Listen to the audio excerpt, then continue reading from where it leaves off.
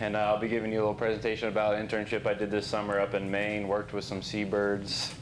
Here we go. All right, so a little bit about me. Uh, I'm a fifth year senior, actually four and a half. I'll be graduating this December. I'm originally from Mansfield, Texas, kind of in the DFW area. I don't know if anybody's ever heard of that. I did my freshman year at Tarleton State. I transferred in here and I've been here ever since and I'll be graduating in a few weeks, like I said. Uh, like most of you, I grew up, you know, probably hunting and fishing, hiking, being outside, kind of sparked my interest in getting a, a career in this field. And uh, bird's the word.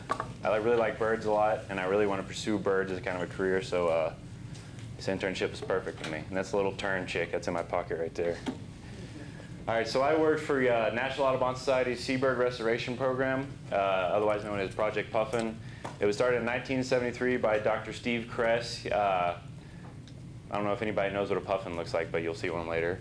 Uh, so there's a main island. Uh, puffins were pretty much extirpated. They're gone. There's two breeding pairs left in the United States.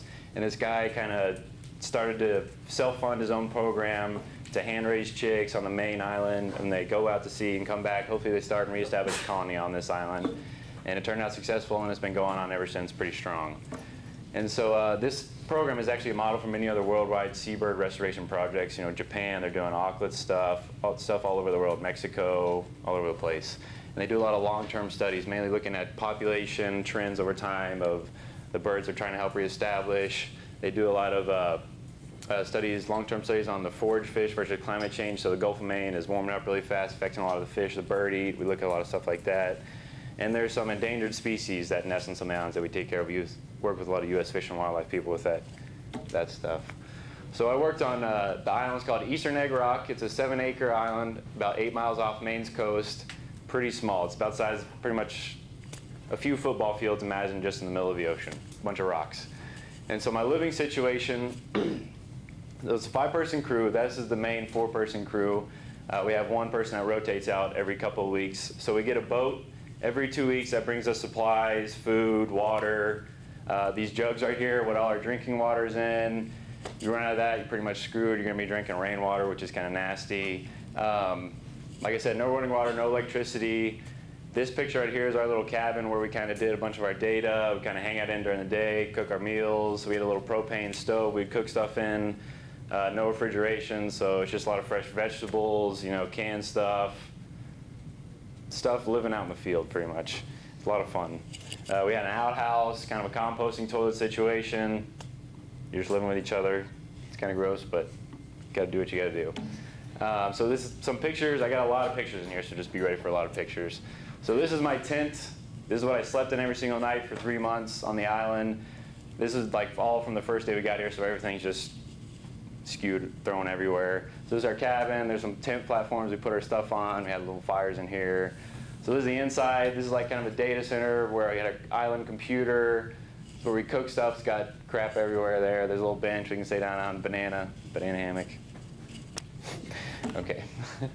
so uh, so when the boats come, it's a big rock, and you can't just, it's not like a beach where you just, you know, pull up your boat on, jump out, grab your supplies. So we have to row out all our supplies about 100 yards these little Avon dinghies, and you can fit a lot of stuff in one of. They're probably about this big, and you can fit a thousand pounds of stuff in there. It's crazy. We had five people in there at once. Um, you know, it's you may think you know you're eating just a lot of canned beans and stuff like that, but we actually make some pretty cool stuff. We have a little camp oven.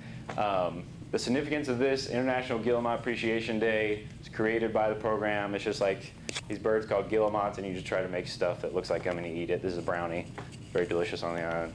There's a blueberry uh, wild rhubarb pie. We had wild rhubarb going on the island. We baked a pie with it. Um, and a bunch of these pictures, you'll see paint sticks coming out of my head. Like, Matt, why the heck do you have a paint stick coming out of your head? Well, some of the nesting birds, um, terns, will actually, if you walk through their nest, they'll dive bomb you. And they have really sharp, little short beaks, and then the blood everywhere, as you'll see. Is a casualty of a tern strike to the head. There's like blood rushing down one of my uh, work empl- my other work purples, face or whatever.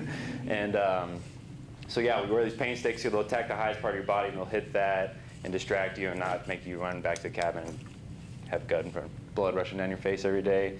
And uh, kind of, I want to, I don't know if this video worked, but it's kind of, so imagine living on an island with 6,000 seabirds. You imagine it'd be quite loud. And uh, hopefully this video will work and you'll be able to, oh, is there any sound? I don't know how to work that.